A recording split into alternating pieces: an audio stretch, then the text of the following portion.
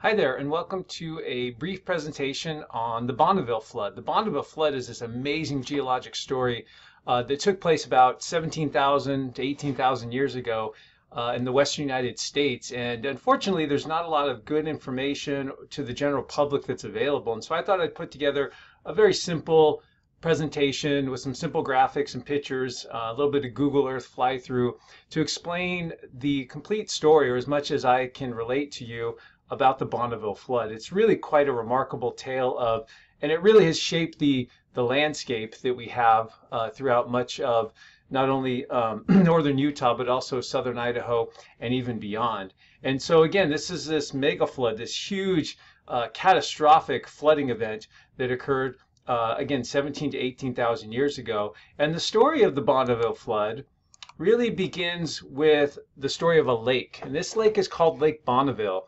So this area of the western United States, uh, the very southern edge of, edge of Idaho, uh, western Utah, much of Nevada, southeastern Oregon, and a little bit of California, is all an area called the Great Basin. And the Great Basin is interesting because it doesn't have any natural outlets to the ocean. All the water that falls there stays in those basins between those mountain ranges. There's no river system that connects this area out to the ocean like we see in many other areas. So this is what we call an enclosed or closed basin. And about uh, 30 to 20,000 years ago, um, the climate was much cooler and wetter than it is today. And so this region actually formed a series of large freshwater lakes uh, in these basins between the mountain ranges. And the largest of all these lakes, one as big as one of the Great Lakes today, was Lake Bonneville, which actually stretched into Nevada, uh, into southwestern Utah, and northward into Idaho. Uh, these lakes in this basin, what we call pluvial lakes, they would have fluctuated in terms of their size with temperature and precipitation patterns. So, for example, if there was uh, higher amounts of rainfall and snowmelt, uh, then the lake levels would rise. If you if you combine that also with cooler temperatures, so there's less evaporation, then they would rise maybe even more so. Other periods of time when maybe the precipitation uh, wasn't as generous or the climate was warmer, the lakes would drop a little bit. So the, the present day Great Salt Lake, you can see there's a few remnants of these lakes today. There's Utah Lake, the Great Salt Lake, uh, a couple lakes in Nevada and in southeastern Oregon in California, these are just these little puddles that are left behind of this one bigger and broader system of lakes throughout uh, the western United, United States. Um, and how do we know these lakes were there? Well, one thing we can see when we go into these basins where these lakes existed is we see really pronounced shorelines. And so these are two images from northern Utah um, near the Great Salt Lake. But these shorelines, these benches up on the hills and mountains around there uh, indicate the lake level uh, at other times in the past. And so the way these shorelines form is you've got this massive lake, you get weather systems that um, produce uh, strong winds, and the strong the winds will actually push the water ahead of it, just like waves in the ocean. And those waves will produce um, as they come smashing into the shoreline, those waves will actually erode the rocks with quite a bit of energy and over time make a bench or, or a, a level uh, terrace, if you will. And so these shorelines actually tell us that the lake was stable at that elevation for some period of time. It had enough time at that elevation for the erosion to create those terraces or those shorelines. And so that's some of the evidence we have of Lake Bonneville. And we know that Lake Bonneville at its maximum, and that's this higher shoreline you can see in this top image here, was about 5,200 feet in elevation. Uh, the lower one here, the more prominent one, this is called the Provo level. This is about 4,800 feet. So these two shorelines are separated by about 4,800 vertical feet of elevation.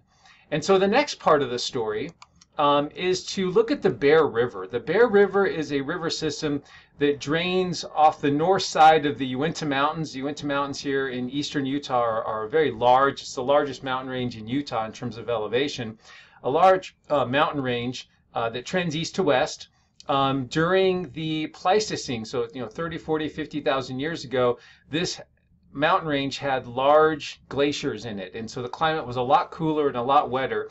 And this river system was pretty formidable. It had a pretty large drainage basin and you can see the path of, of the, the Bear River flowing uh, through Wyoming, right near the Wyoming-Utah border, up along the Wyoming-Idaho border.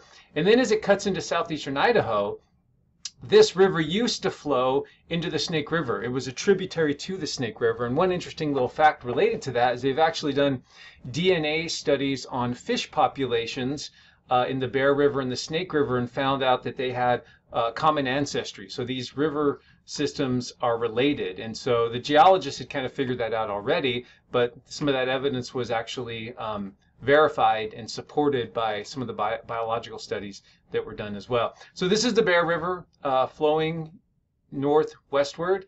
Um, another little river system that joins it is the Portneuf River uh, flowing past what today is the present day Pocatello, city Pocatello, Idaho, and then into the Snake River and then out to the west, eventually joining the Columbia River. Well, an interesting event happened uh, about 50, 55,000 years ago, and that was that there was an eruption. So there's uh, this area has volcanic eruptions that occur from time to time. We can see the more recent eruptions here in the Snake River Plain at places like Craters of the Moon.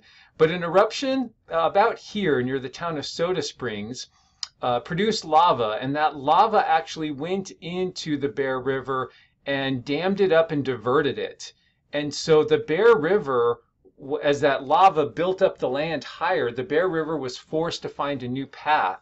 And the rerouting of the Bear River um, after this eruption about 50 to 55,000 years ago forced the Bear River southward. So it's kind of a crazy river. It flows north for oh, I don't know, a good uh, 80, 90, maybe 100 miles or so. And then it does a complete 180, swings back to the south, and today it pours into the Great Salt Lake. Well, at this time, the Bear River then would have been rerouted into the Bonneville Basin, into Lake Bonneville itself. And this river, again, was a very large river at that time. And so you can imagine then the effect of this river being added to this, this lake that doesn't have an outlet.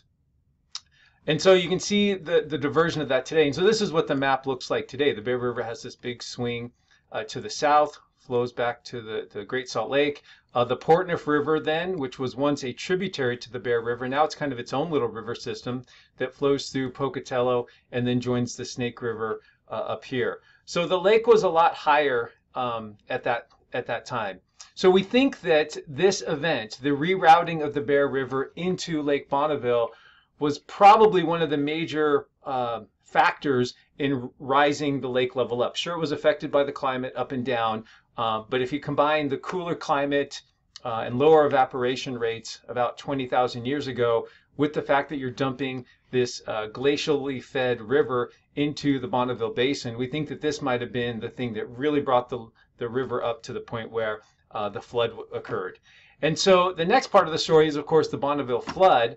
And we aren't quite exactly sure what caused the Bonneville flood. There's, it's possible uh, that there was an earthquake, maybe along one segment of the Wasatch Fault or maybe another fault system in southeastern Idaho, uh, and that the sloshing of the water in uh, Lake Bonneville would have produced um, a, a wave that overtopped its lowest point. So we're not sure exactly what initiated it, but um, we'll take you now to Google Earth and we'll kind of look at um, exactly where the flood started.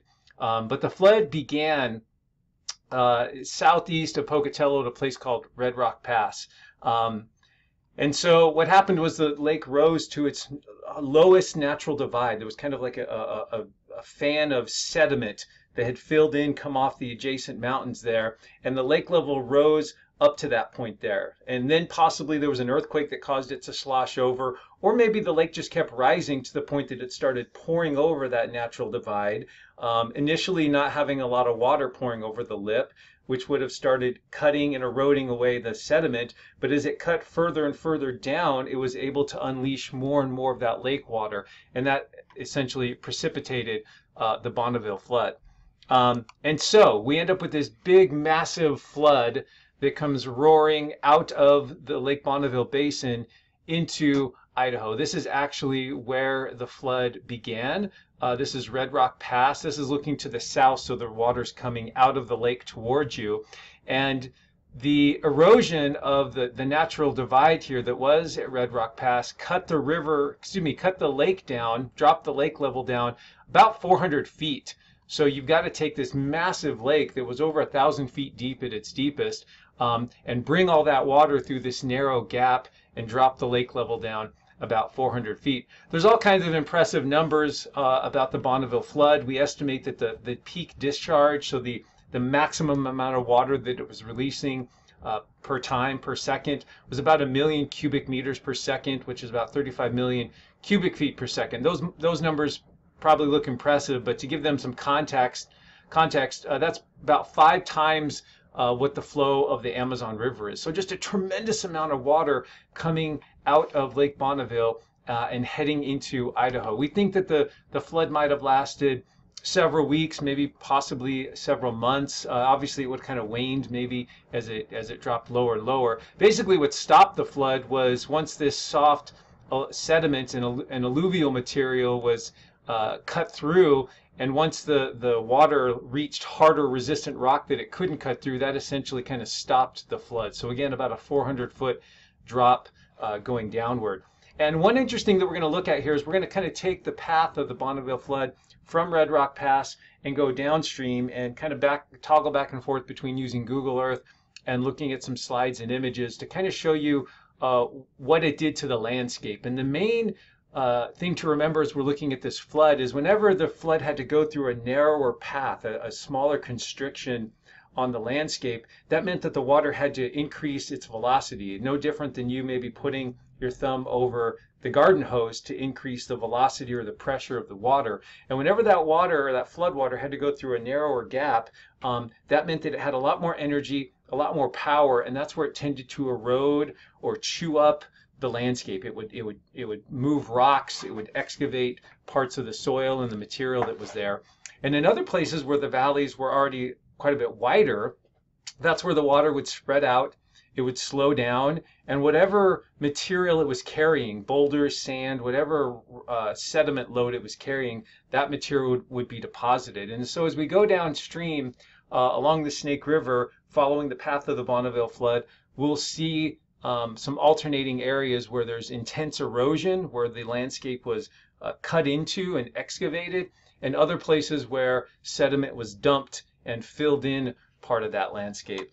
Um, and so let me switch over real quick here to Google Earth. And so here we have, um, I'm going to leave the roads on there for a second, but this is Utah, Idaho, and Wyoming here. And we're going to kind of go uh, right along Highway 91 between Preston uh, and Downey. This is more or less where uh, Red Rock Pass is is right in this area here. So this was this was the you could imagine then the, the lake actually extending in an arm up into this valley and this was the point of initiation for the flood. So the flood actually began here, started flowing down this creek here. This is Marsh Creek, uh, and then flowed to the north, um, kind of following the I-15 corridor today, uh, causing quite a bit of erosion here. There's actually some basalts um, young basalts in this area here that have been eroded and kind of stripped clean. Uh, and then it joins the um, Portneuf River right here at McCammon. The Portneuf River comes out here near Lava Hot Springs. So it's following the Portneuf River out into Pocatello. Of course, as, as that water is going through these narrow valleys, again, it's moving very quickly, it's eroding. Uh, but where it's fanning out here as it's entering the Snake River Plain, that's where it deposits a lot of the, these big boulders. Um, of course, this was back before we had these, these big reservoirs here today, like American Falls Reservoir. But you can imagine uh, the water then kind of uh, moving down the Snake River, following the Snake River.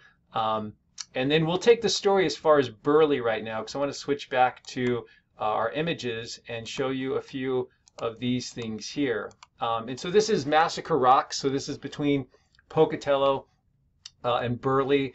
Uh, it's a state park. It's a place where the river is, um, there's some cliffs there, but the main thing here is there's quite a few deposits uh, from the Bonneville flood. These big, huge, rounded boulders of basalt, these, these rocks of, of uh, solidified lava that have been sort of churned. And as you look at the size of these boulders with these uh, juniper trees for scale, you get a real sense for the power of the Bonneville flood. There's there are rocks and boulders out there, um, and in some places up to 15 or 20 feet in diameter bigger than a car, uh, maybe kind of a tiny house size or something like that. Really quite impressive.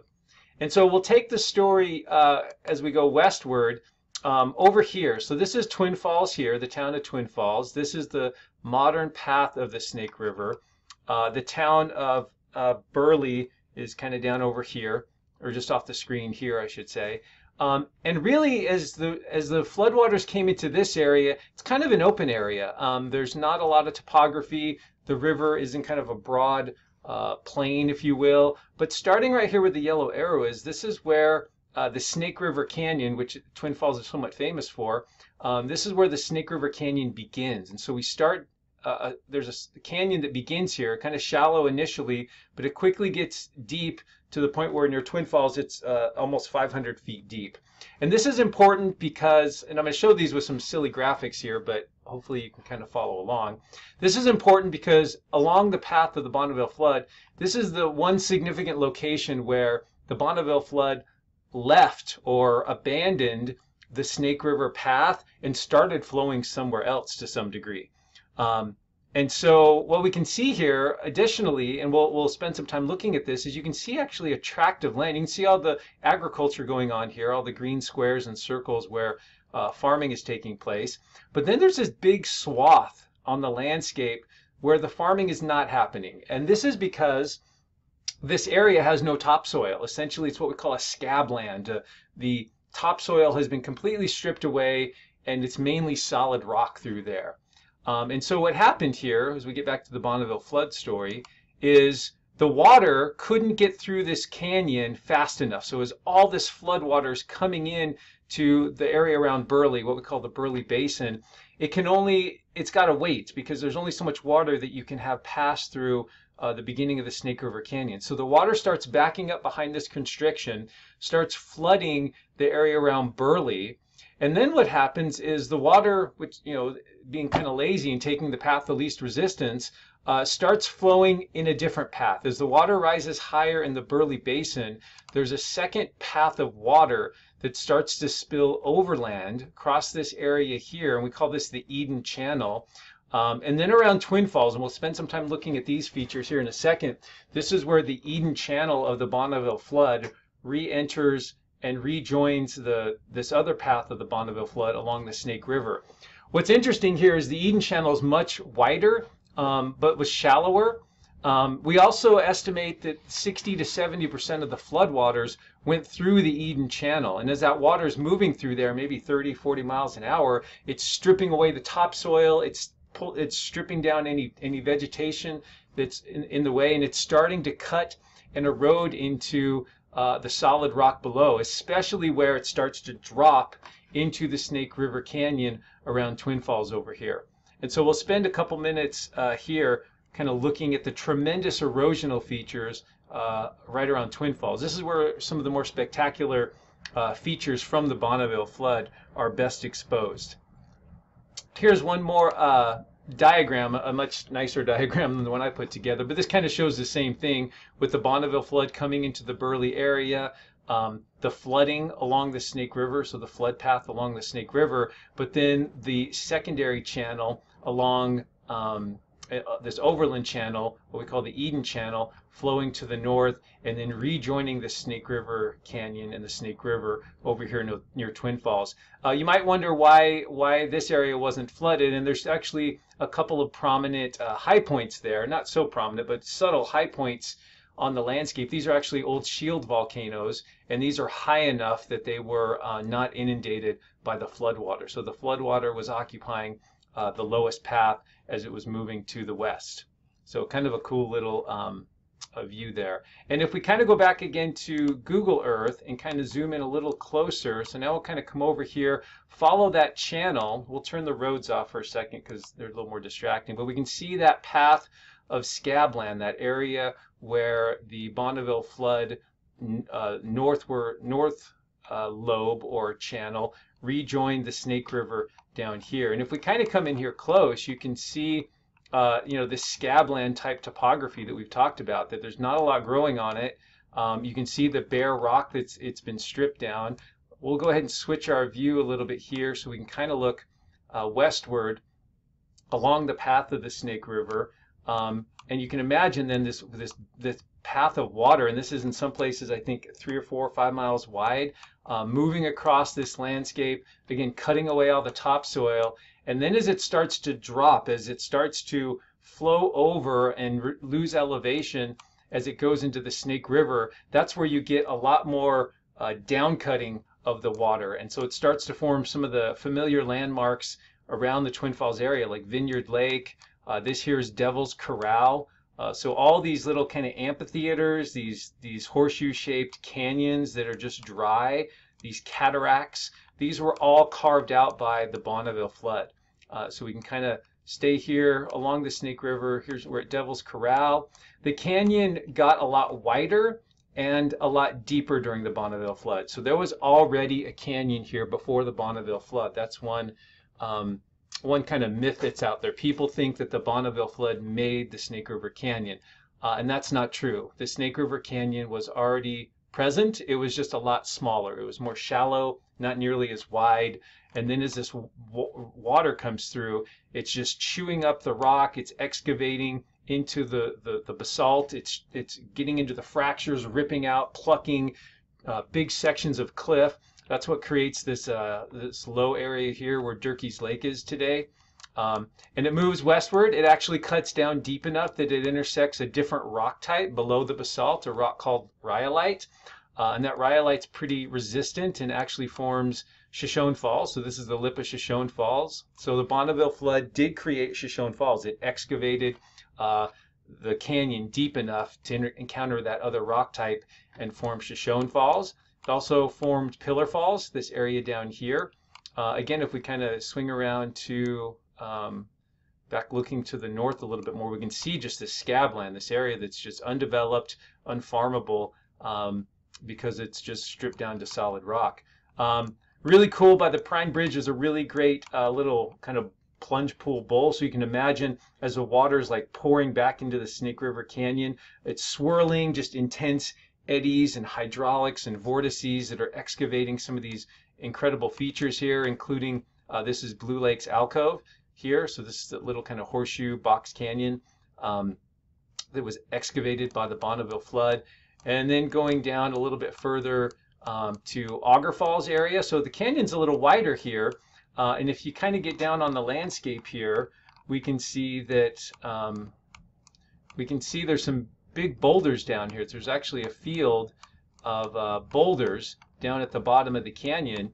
And these boulders were all deposited by the Bonneville flood. So you can actually see these boulder bars um, strewn across the valley floor um, where the Bonneville flood came through. There's actually a secondary channel over here, what we call a paleo channel, um, that was gouged out by the Bonneville flood. The Snake River was undoubtedly kind of uh, uh, diverted a little bit eh, from where it originally was. It might have been somewhere else in its canyon, but at, at the present time, it's over here on the north side.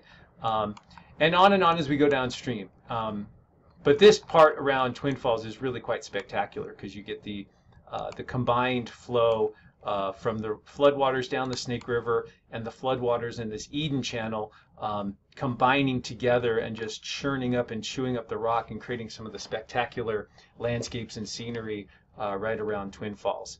Um, okay, so we'll we'll um, quickly just kind of look at the map and then go back to a couple slides. So the floodwaters would have come, come through there, uh, down towards Buhl and Hagerman. The valleys are a little bit wider there, so mainly lots of uh, deposition.